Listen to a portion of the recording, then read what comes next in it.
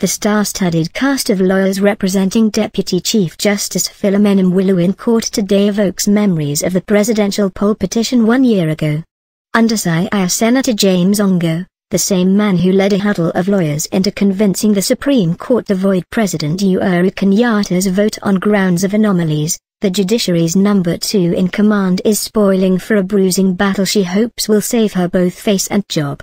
Working in concert with Mr. Orengo are his counterpart from Nyamira County Okongo Omogeni, senior lawyer John Khaminwa, Mr. Harun Ndubi, Mr. Edward Waswa and at least five others, all lawyers who have handled some of the watershed cases in the country. Like Mr. Orengo, Mr. Omogeni and Mr. Khaminwa are all senior counsel.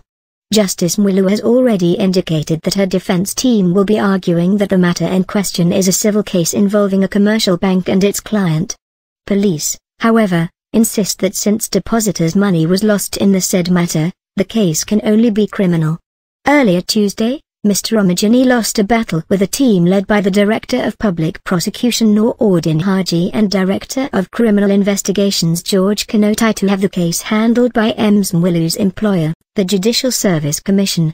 The choice of lawyers will somewhat politicize the case since both Mr. Orengo and Mr. Omogeni are close allies of the opposition chief Raila Odinga.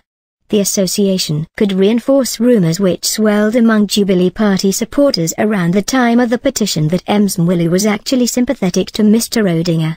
Being part of the majority that overturned Mr. Kenyatta's victory, talk is rife that her arrest could have something to do with revisiting what is considered Mr. Kenyatta's threat to sort elements in the judiciary who humiliated him. Chief Justice David Maraga agreed with the DCJ, Justices Smokin Wanjala and Isaac Lenaola that the electoral body messed up transmission of poll results and ordered fresh elections. Judges Jackton Ojwang and Njoki Ndung'u dissented while Judge Muhammad Ibrahim, who fell ill on the second day of the case hearing, did not take part in the decision.